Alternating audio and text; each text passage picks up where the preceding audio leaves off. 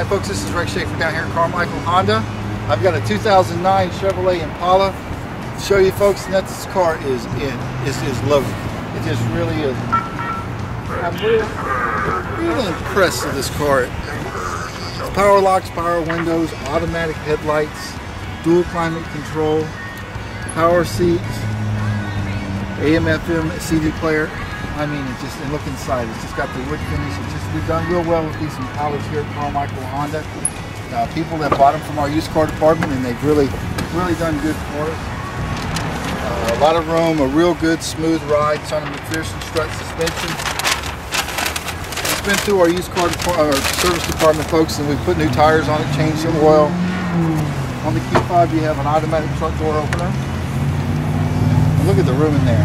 My goodness.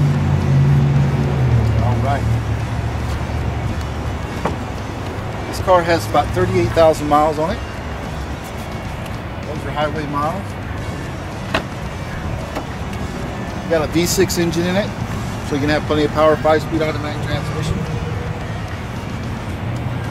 This paint looks like it's in really, really good shape outside. Get a, get a shot of the paint here. Isn't that nice?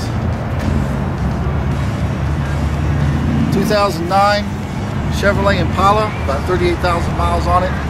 Loaded, beautiful car. Come down and see it. Carmichael Honda. To browse the rest of our inventory, check us out at carmichaelhonda.com or stop by. We're right off of I-80 on the corner of Auburn and Greenback.